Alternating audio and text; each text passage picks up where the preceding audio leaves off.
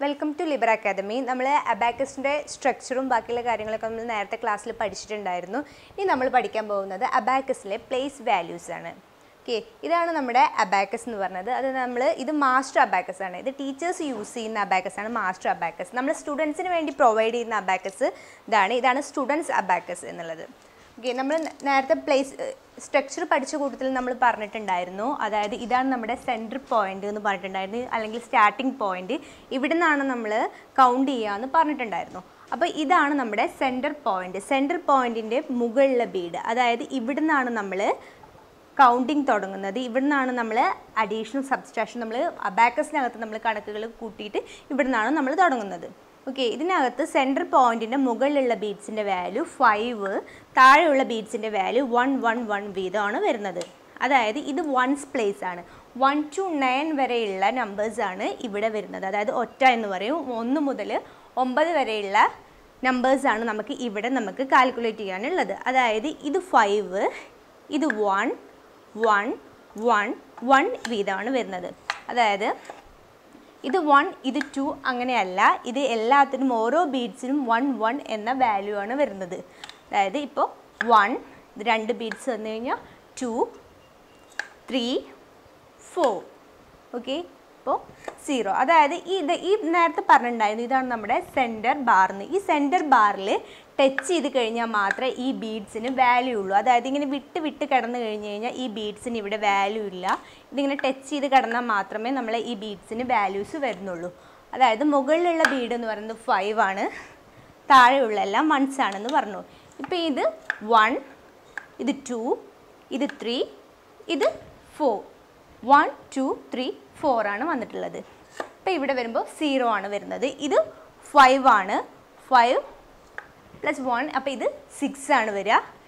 Seven eight nine okay ഇനി ഇതിൽ നിന്ന് ഇപ്പോൾ സെവൻ ആണ് നമ്പർ വരുന്നത്. ടു വൺ സീറോ ഓക്കെ ഈ ഒരു പ്ലേസ് എന്ന് പറയുന്നത് സെന്റർ പോയിന്റിന്റെ ഇവിടെയുള്ള ഈ ഒരു ഭാഗം ഈ ഒരു പ്ലേസ് എന്ന് പറയുന്നത് നമുക്ക് വൺസ് പ്ലേസ് ആണ്. തൊട്ട് ഇപ്പുറത്തുള്ള ഈ പ്ലേസ് എന്ന് പറയുന്നത് ടെൻസ് പ്ലേസ് ആണ്. ടെൻസ് പ്ലേസിൽ എന്ന് പറയുമ്പോൾ ഇവിടെ നമുക്ക് വൺ ആണ് വാല്യൂ വരുന്നത് എന്ന് വെച്ച് കഴിഞ്ഞാൽ ഇവിടെ നമുക്ക് വരുന്നത് ടെൻ ആണ്. ടെൻ ട്വന്റി തേർട്ടി ഫോർട്ടി അങ്ങനെയാണ് വരിക.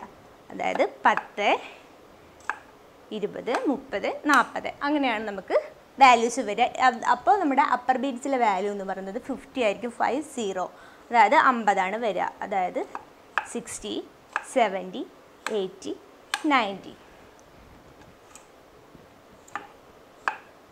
നമുക്ക് ലെവൻ ആണ് വരിക. ഇത് ഇവിടെ ഇവിടെയുള്ള ടെന്നും ഇവിടെ വണ്ണും അപ്പോൾ നമുക്ക് ലെവൻ ആണ് വരിക. ട്വന്റി ടു ആണ് വരിക. ഇവിടെ നമുക്ക് എത്രയാണ്? ട്വന്റി ആണുള്ളത്. ഇവിടെ നമുക്കുള്ളത് ടു ആണ്? നമുക്ക് ട്വന്റി ടു ആണ് വരിക. തേർട്ടി ടു അങ്ങനെയാണ് നമുക്ക് വരിക. അങ്ങനെയാണ് പ്ലേസ് വാല്യൂസ് വരുന്നത്. ഇവിടെ ഇങ്ങനെ വരുമ്പോൾ നമുക്ക് ഫിഫ്റ്റി ഫൈവ് വരും. Fifty six fifty seven fifty eight fifty nine അങ്ങനെയാണ് വരിക. ഇവിടെ വരുമ്പോൾ നമുക്ക് സിക്സ്റ്റി നയൻ വരും. സെവന്റി നയൻ എയ്റ്റി നയൻ ഇങ്ങനെ വരുമ്പോൾ നമുക്ക് നയന്റി നയൻ വരും.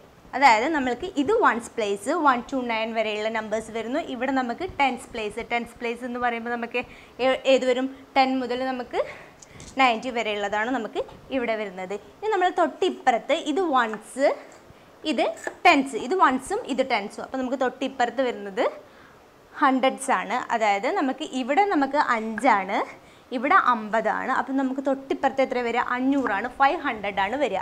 അതായത് ഫൈവ് ഫിഫ്റ്റീൻ ഫൈവ് ഹൺഡ്രഡ് ആണ് വരിക. ഫൈവ് ഹൺഡ്രഡ് അപ്പോൾ ഇവിടെ നേരെ താഴെയുള്ളത് ഹൺഡ്രഡ്സ് ആണ് വരിക. അതായത് ഫൈവ് ഹൺഡ്രഡ് ഇതെല്ലാം ഹൺഡ്രഡ്സ് ആണ് വരിക. ഓക്കെ ഇത് hundred two hundred three hundred four hundred മൊത്തം നാല് ബീഡ്സ് ഒരുമിച്ച് വരുമ്പോൾ നമുക്കിവിടെ ഫോർ ഹൺഡ്രഡ് ആണ് വാല്യൂ വരിക. ഇത് ഇത് മാത്രം വരുമ്പോൾ നമുക്ക് ഫൈവ് ഹൺഡ്രഡ് ആണ് വരിക.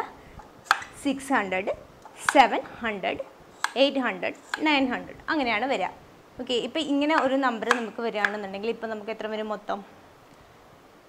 Nine hundred and twenty one വരും. ഇവിടെ നമുക്ക് നയൻ ബീഡും ഉണ്ട് ഇവിടെ ടു ബീഡും ഉണ്ട് ഇവിടെ വൺ ബീഡും ഉണ്ട്.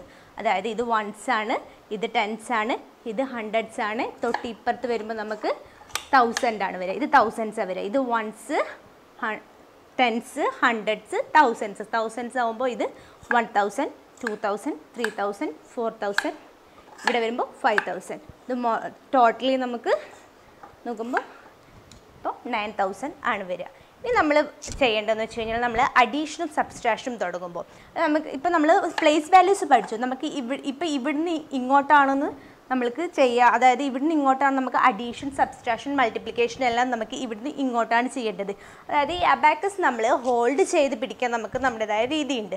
അതായത് നമ്മൾ ഇപ്പോൾ മാസ്റ്റർ അബാക്കസ് നമുക്ക് ചെയ്യാൻ പറ്റില്ല. ഇതാണ് സ്റ്റുഡൻസ് അബാക്കസ് എന്ന് ഞാൻ നേരത്തെ പറഞ്ഞു. നമ്മൾ കുട്ടികൾ നമ്മൾ അബാക്കസ് യൂസ് ചെയ്യുന്നത് എങ്ങനെയാണെന്ന് വെച്ച് കഴിഞ്ഞ് കഴിഞ്ഞാൽ ഇതാ ഇങ്ങനെയാണ് നമ്മൾ ഇവിടെ ഈ ഒരു അബാക്കസ് നമ്മൾ യൂസ് ചെയ്യുമ്പോൾ നമ്മൾ ഇതായത് ലെഫ്റ്റ് ഹാൻഡിൽ നമ്മൾ ഈ രണ്ട് ഫിംഗേഴ്സ് നമ്മൾ റിലീസ് ചെയ്യണം. അതായത് ഈ രണ്ട് ഫിംഗേഴ്സുമാണ് നമ്മൾ റിലീസ് ചെയ്യേണ്ടത്. നമ്മളുടെ ഫിംഗേഴ്സ് എന്ന് പറയുമ്പോൾ ഇത് thumb index middle ring small അതായത് നമ്മൾ ബ്രെയിൻ ഡെവലപ്മെന്റ് എന്താണ് നമ്മൾ അബാക്കസും ബ്രെയിൻ ഡെവലപ്മെന്റും തമ്മിലുള്ള ഇതെന്ന് നമ്മൾ നേരത്തെ പഠിച്ചിട്ടുണ്ടായിരുന്നു. അതുകൊണ്ട് തന്നെ നമ്മൾക്ക് ഫിംഗേഴ്സ് എന്ന് പറയുന്നത് വളരെ യൂസ്ഫുള്ളാണ് നമ്മൾ അബാക്കസിനകത്ത് അതായത് ഫിംഗേഴ്സ് വെച്ച് ചെയ്ത് കഴിഞ്ഞാലേ നമ്മൾക്ക് അബാക്കസിനകത്ത് നമ്മൾ വിചാരിക്കുന്ന രീതിയിലുള്ള പ്രോഗ്രസ് നമുക്ക് ഉണ്ടാവുള്ളൂ. അപ്പോൾ അതായത് നമ്മൾ ഈ രണ്ട് ഫിംഗേഴ്സും നമ്മൾ ലിവ് ചെയ്യണം. അതായത് ഇൻഡെക്സും മിഡിലും ഇതവണം വേണം ലിവ് ചെയ്യണം. ഇത് രണ്ടും നമ്മൾ ഏതൊക്കെയാണ്? തമ്പ് റിങ് സ്മാൾ ഇതുകൊണ്ടാണ് നമ്മൾ ഹോൾഡ് ചെയ്ത് പിടിക്കേണ്ടത്. അതായത് അടുത്തതിൽ നമ്മൾ റൈറ്റ് ഹാൻഡിൽ നമുക്ക് പെൻസിലാണ് ഇതാണ് നമ്മുടെ ഷൂട്ടിംഗ് പോയിന്റ് വരിക. ഷൂട്ടിംഗ് പോയിന്റിൽ വരുമ്പോൾ നമ്മൾ തമ്പും ഇൻഡെക്സും ആണ് നമ്മൾക്ക് ഇവിടെ ഇതാണ് ലിവിന്റെ മറ്റുള്ളത് നമ്മൾ പെൻസിലാണ് നമ്മൾ ഷൂട്ട് ചെയ്തിട്ട് ഇങ്ങനെയാണ് പിടിക്കേണ്ടത്. ഇത് നമുക്ക് ഡെസ്കിൽ വെച്ച് അല്ലെങ്കിൽ ബെഞ്ചിലൊക്കെ വെച്ച് ചെയ്യുമ്പോഴേ നമുക്ക് നേരെ ചെയ്യാൻ പറ്റുള്ളൂ. ഇതിനനുസരിച്ചാണ് നമ്മൾ കാൽക്കുലേറ്റ് ചെയ്യേണ്ടത്. അതായത് ഈ രണ്ട് ഫിംഗേഴ്സുമാണ് നമുക്ക് മെയിനായിട്ട് നമ്മളിപ്പോൾ ചെയ്യേണ്ടത് അതായത് തമ്പും ഇൻഡെക്സും ഉപയോഗിച്ചിട്ടാണ് നമ്മൾ മെയിനായിട്ട് നമ്മൾ അഡീഷനും സബ്സ്ട്രാക്ഷനും ഇപ്പോൾ ചെയ്യേണ്ടത്. ഇത്രയാണ് ഇന്നത്തെ ക്ലാസ് ബാക്കിയുള്ളത് നമുക്ക് അടുത്ത ക്ലാസ്സിൽ പഠിക്കാം.